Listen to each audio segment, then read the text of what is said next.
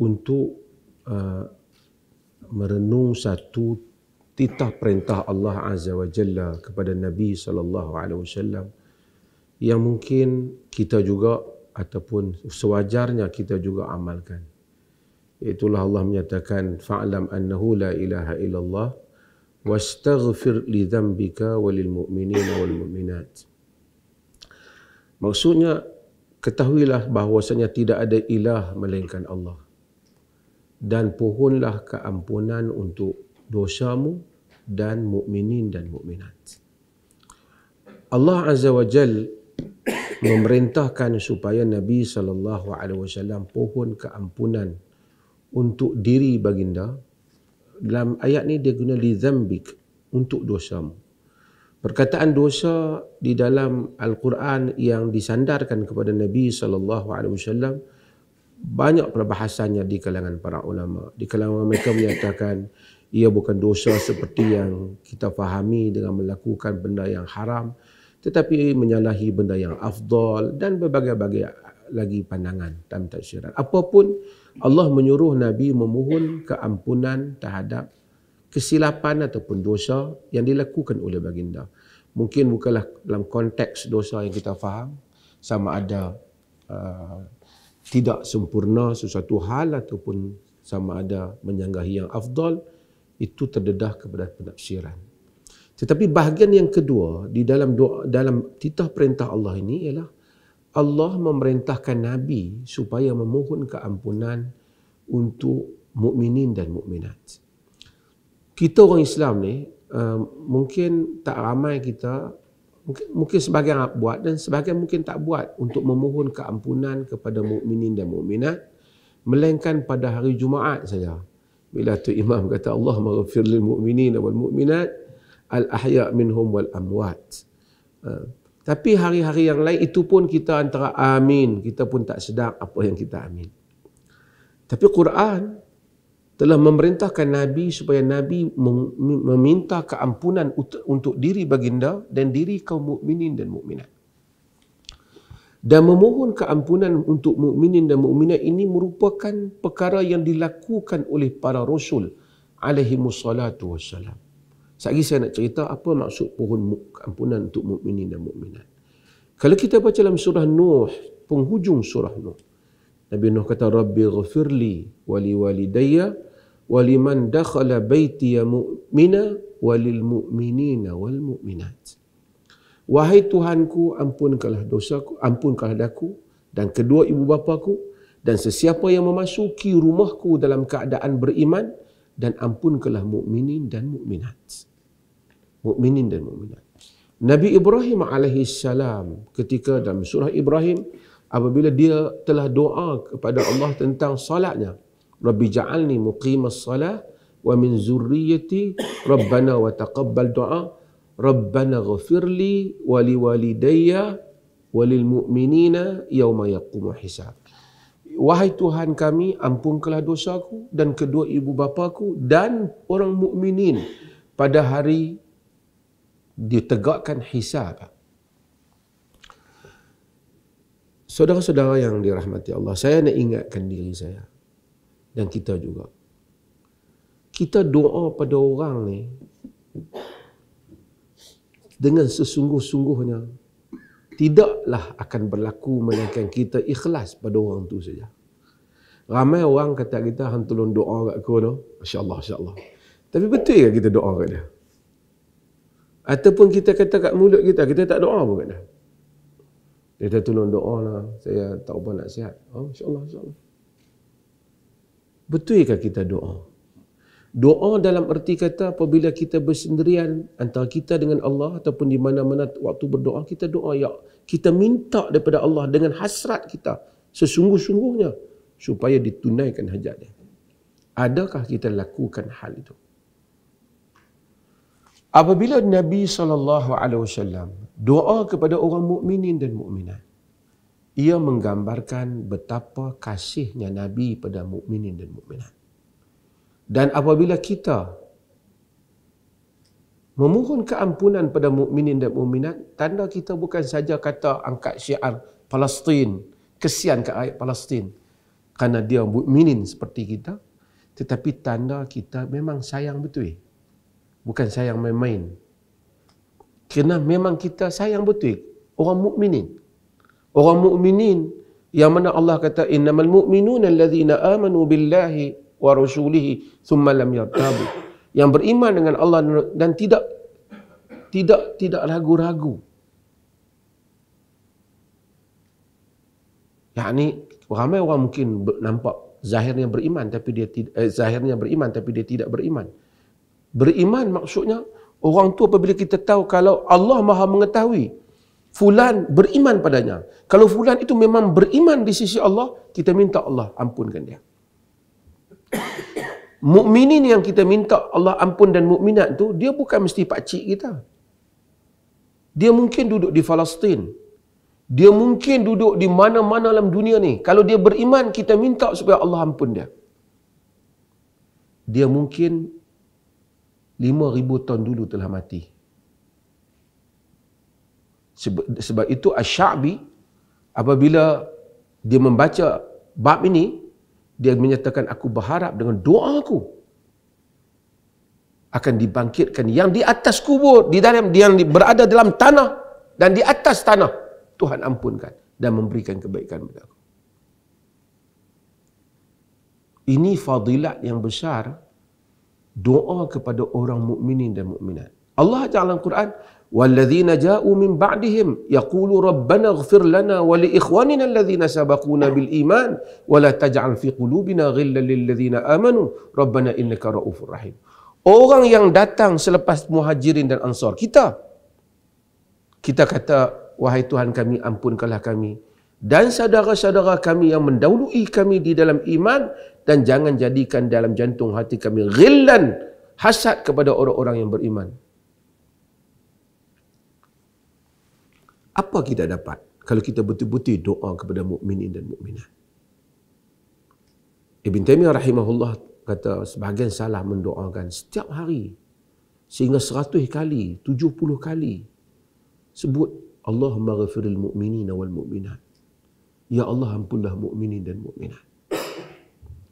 Dalam hadis yang diriwayatkan oleh Imam Muslim, Nabi saw menyatakan, da'watul mar'il muslim li akhihi bi dhahril ghaib mustajabah.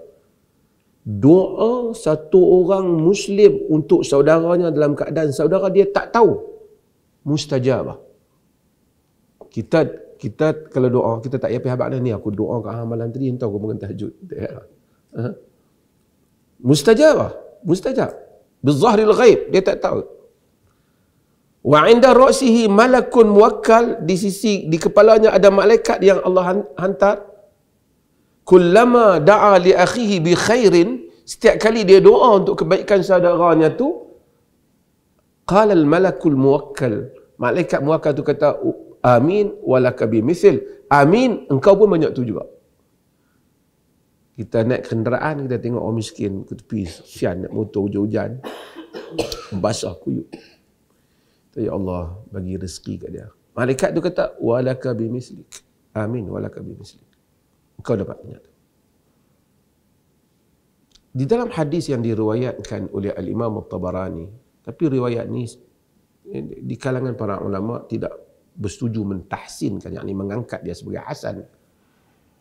Di kalangan para ulama mereka yang menghasankan riwayat ini. Tapi Nabi dalam itu dikatakan Nabi saw menyebut bahawasanya man istaghfara lil mu'minina wal mu'minat kataballahu lahu bi kulli mu'mina mu'minin wa mu'minatin hasana siapa yang minta Allah ampun untuk mukminin dan mukminat Allah tulis bagi setiap mukminin dan mukminat untuk dia kebaikan. Kalau kita kata sungguh-sungguh Allahumma ghafiril muslim mu'minina wal mu'minat. Ya Allah ampunlah mukminin dan mukminat Berapa juta, berapa juta orang mukmin, berapa bilion orang mukmin sejak dulu, sejak Adam sampai sekarang. Ha? Dan kalau malaikat kata balik bagi setiap mukmin itu untuk engkau juga banyak tu.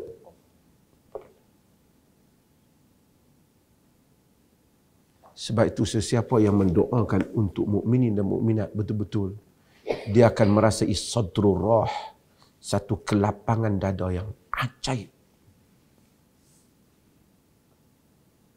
Satu kelapangan hidup yang dia tak sangka. Dia mempunyai fadilat yang besar. Sesiapa yang melaziminya akan mengetahui nikmatnya. Mendoakan untuk mukminin dan mukminat. Kita tengok orang bom kat Palestin, siapa kita marah? Bukan dia beradik kita.